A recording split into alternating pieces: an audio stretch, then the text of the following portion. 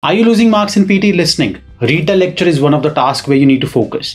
It gives you easily 5 to 10 marks because Retell lecture gives you 5 marks for content for every single task.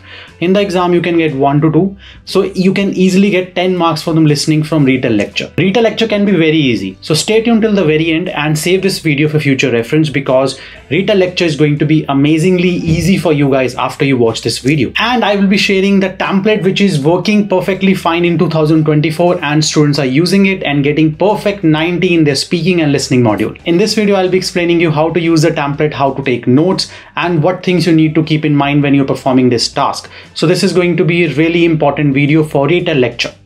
So over here, how we're going to do is we're going to write the notes in three three word sequence because that's how we're going to speak, right? So I'm going to do one of the we've been taught that once we start something, we have to finish it. And I think that so often we view books as this linear thing, whereas I think a different view of books is what information do I need out of the book right now? Is that uh, an entertainment read? Do I need to read from start to finish?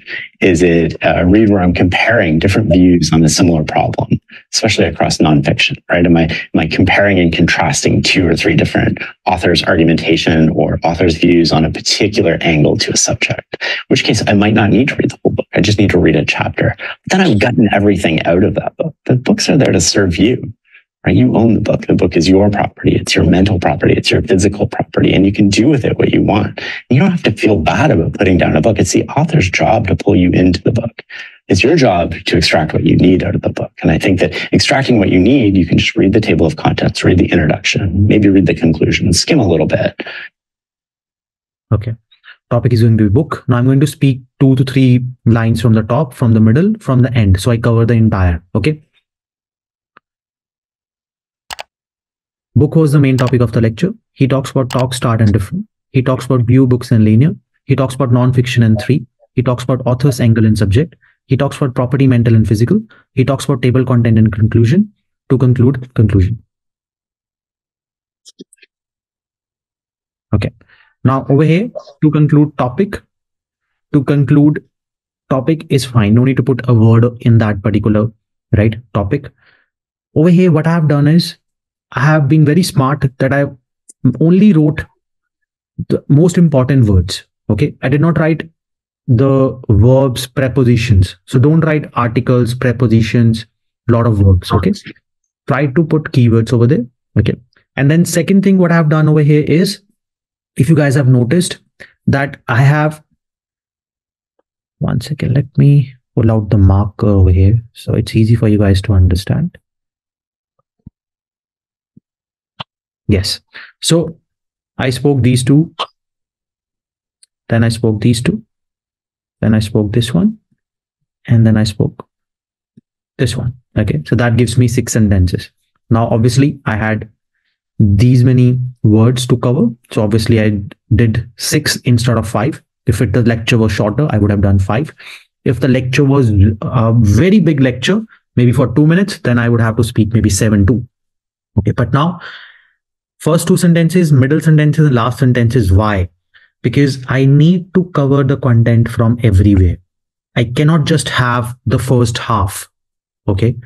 So don't do that when you're practicing. Make sure that you cover it from everywhere, from all the portions. Okay. Now try to write it into three, three words as I have done. Okay. One, two, three, one, two, three, one, two, three, one, two, three, because that's how you're going to speak. Okay. Then another thing, no stressing. Same like the scrimmage, you have to complete one sentence, then take a pause. One sentence, then take a pause. Okay. You cannot speak it otherwise. You're going to lose the marks. Okay. So one sentence, then pause, another sentence, then pause, another sentence, then pause, and so and so and so. Okay. So make sure that you do that. The most important word, whatever you feel like, just use that word as a topic. Okay. Now that is very important, right? That you must do that. Okay. So that you get full marks in the content. Okay. Writing the notes again very important. Now, if you guys have noticed, I have had more than 12, 12 to 13 sentences, but I only picked about seven, which were important and which were giving me variety of content. Okay. So if you only have seven sentences, that's less. You need to have at least 10 to 12. Then only you need to make a choice. So write more. Okay. Then only you can make a choice. If you only have six to seven sentences, automatically then you will have lack of choice. That means you need to include all the words which you have. Okay. So that way you will get less marks for the content. So write faster. Okay. So that you can get better marks for the content. Use one form only. Okay. If you're using keywords, stick with keywords. Okay. And that's a easier way to get the full marks. With the group of words, you might not get many. You might get few. Again, make sure that you speak one sentence, then take a pause. One sentence completely, then a pause. Okay. If there is a question, sometimes there are some questions with Retell lecture where they give you a video on the screen as well and where they give you an image on the screen as well. Okay don't get confused it's again a same question the only thing they're doing is just trying to distract you or just trying to you know confuse you so in that case what you have to do is you have to pick the keywords from the lecture but you also have to pick the keywords from that particular image on the screen too. So mix couple of words from the image and mix couple of words from the lecture audio okay? And similarly if there's a video playing if there are some words mentioned in that video just pick a couple of words from there. You cannot ignore anything okay? So if there is an image make sure that you pick a couple of words from there and then obviously going to pick the words from the lecture audio. Now i remember there was one student who literally got confused when they saw the image and the audio started playing. Because when they saw the image they thought it's a describe image. Okay?